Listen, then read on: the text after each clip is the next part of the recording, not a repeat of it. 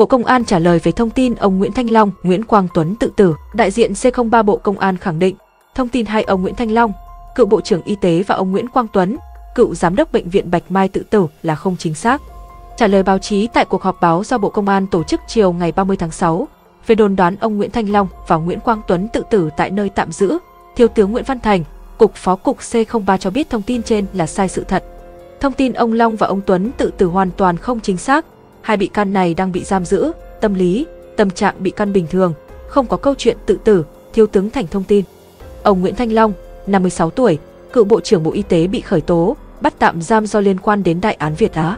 Ông Nguyễn Quang Tuấn sinh ngày 5 tháng 1 năm 1967 và cuối tháng 10 năm 2021, cơ quan điều tra Bộ Công an khởi tố ông Tuấn để điều tra, làm rõ trách nhiệm liên quan sai phạm đấu thầu thiết bị y tế xảy ra tại Bệnh viện Tim Hà Nội.